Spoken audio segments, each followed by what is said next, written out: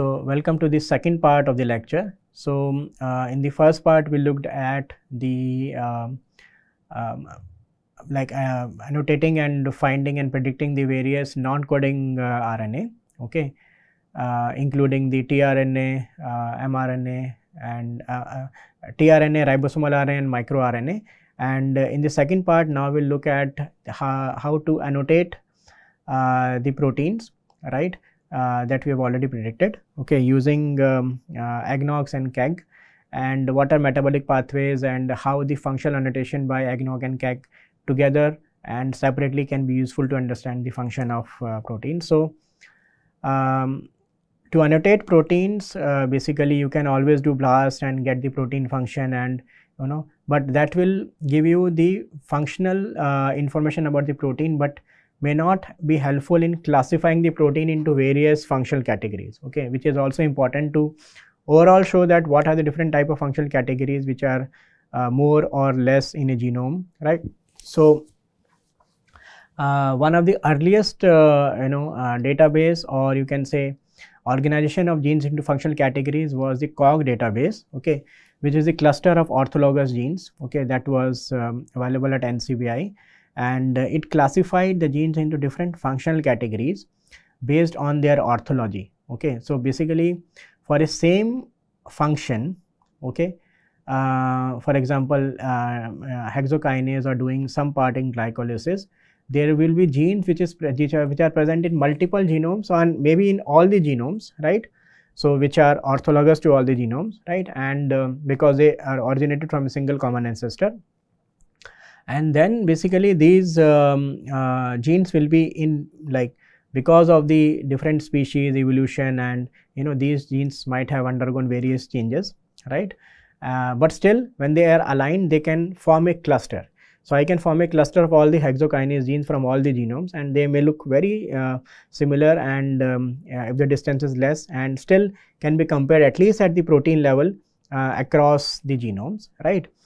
Uh, so, now hexokinase is one gene which is involved in uh, glycolysis which is a part of metabolism of carbohydrates okay basically metabolism becomes the overall uh, you know uh, you know broader category of that kind of function. Similarly, there will be some signaling gene, some transport gene, okay, some information like gene for uh, that may contains uh, replication, uh, transcription, translation, and you know these kind of genes.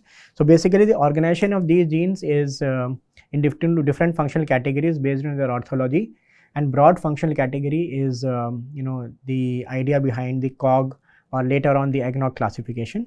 So COG classifier uh, is a tool which is still available, but earlier it was on NCBI uh, to classify any you know uh, set of genes from uh, identified from, from a prokaryote into uh, various functional categories based on the orthologous uh, genes. So, these are the different orthologous groups okay like carbohydrate transport and metabolism, amino acid transport and metabolism. Okay, so major group if you see like J category. So J category is uh, uh, this one translation ribosomal structure and biogenesis okay then the c category is uh, basically energy production and conversion o right which is the post translation modification. So basically this way um, different uh, you know type of broader ca category of functions uh, you know you can classify your genes into those categories right? For example in case of e. coli you can see that the uh, most abundant functions were C which is uh, basically the um, energy production and conversion okay. Second one was um, so most abundant was G which is basically the um, yeah carbohydrate transport and metabolism then energy production conversion then E which is amino acid transport okay. So these are the most of the abundant classes then J, K, L which is translation and uh, transcription replication were also abundant. So, this way you will know that what kind of functions are more present in a genome, right. Okay, and basically you can prepare a uh, bar plot or a uh, circular plot or you know pie chart for uh, to you know show these functional categories. And basically showing these kind of maps gives an overview of the functional profile of uh, uh, genes in the genome. Okay and that is why it is important to uh, classify the genes into various functional categories. And also for the uh, you know other kind of function and functional evolution analysis like you may find something more evolved in some functional category so that will uh, be uh, can be easily indicated from such kind of uh, you know uh, eggnog or KEGG mapping right?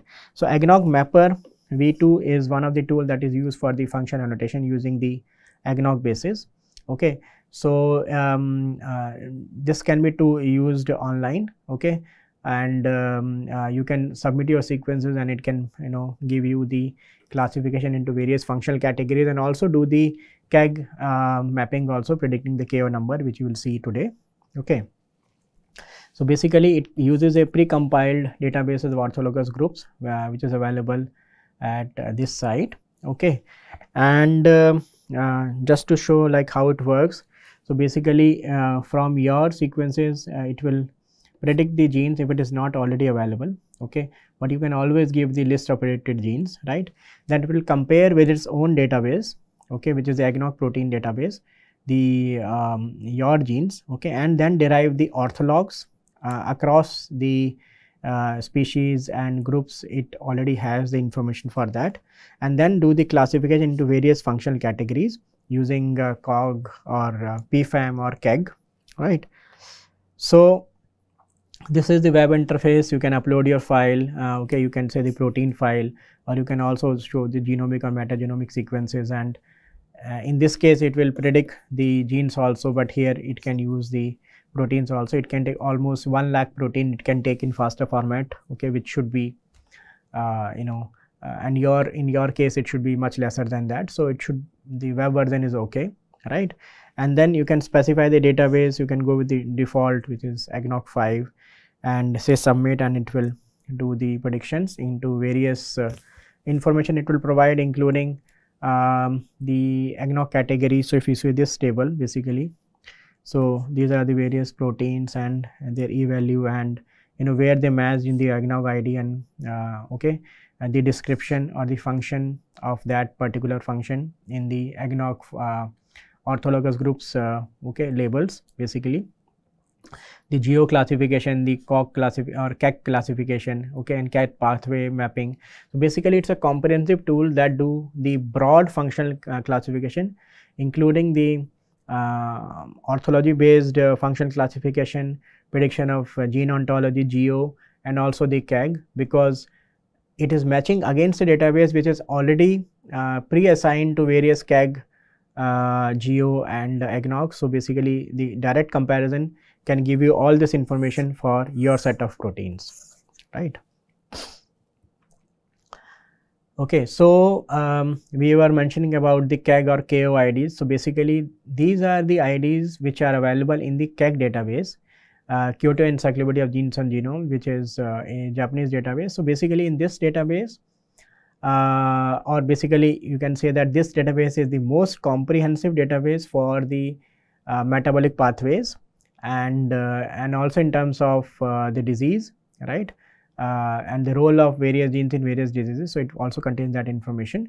Okay, so it has you know constructed the reference pathway maps for all the metabolic pathways and uh, also the broader even like the overall uh, reference map and you know sub reference maps also.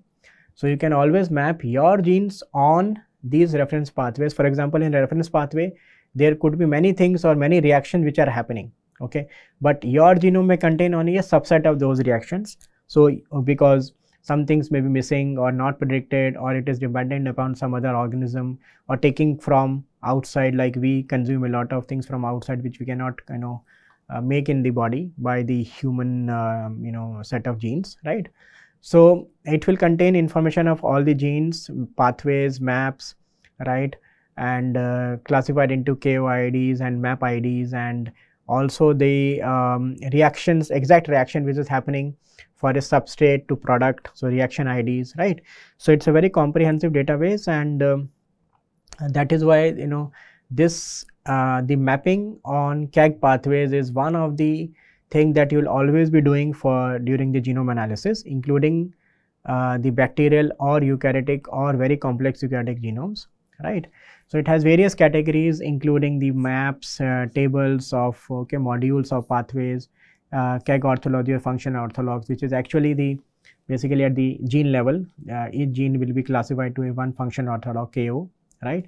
Which are actually mapped to the pathways map IDs okay information about genes genomes uh, you know metabolites uh, reactions which are happening exact enzyme okay information about diseases right? So okay, this is a very very comprehensive set of information that you can obtain from the KEGG database. Okay. So um, uh, so basically you can use it online and uh, uh, you can browse the database for various information. You can also uh, you know submit a query gene or protein sequence and get all the information about it including which pathway it belongs to uh, what is its role uh, in their metabolic pathway what is the exact reaction it is performing there right and you can also download it and do this locally and also like eggnog that eggnog mapper that we saw earlier was also finding the KOIDs, uh, the corresponding KOID for uh, your gene of interest or the uploaded set of genes, right. So, for the or basically it gives very very detailed information. For example, for each anti like KOID it will provide you the symbol of the gene, okay, the exact EC number of the enzyme that is doing the job, which pathways it is involved in, right? And their you know map IDs and also if you click on these you will get the entire map and particular KOID mapped to that gene okay? Modules which or to which these pathways belong.